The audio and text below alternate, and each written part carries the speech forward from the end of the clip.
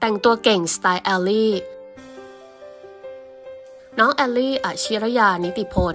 ลูกสาวคนเดียวของอ่ำ อมรินทร์ นิติพลและจอย อัจฉริยา นอกจากจะมีความสามารถทางด้านดนตรีแล้ว เรื่องแฟชั่นต้องยอมรับเลยว่า สาวคนนี้นั้น รสนิยมดีมากๆค่ะ ไม่ว่าจะแต่งแบบไหนก็จะดูสวยปังไปซะหมด วันนี้ทีมงานมีภาพของแอลลี่มาอัปเดตให้แฟน ๆ ได้ชมกัน ขอบอกเลยว่าไม่ว่าลุคไหนก็ทำเอาแฟน ๆ ใจละลาย อย่ารอช้าค่ะ มาชมกันเลยจ้าแอลลี่อชิรยา นิติพล ลูกสาว คาแรคเตอร์สุดน่ารักของอ่ำอมรินทร์ นิติพล อดีตศิลปินเพลงร็อก มีผลงานการแสดงรวมถึงพิธีกรมากมาย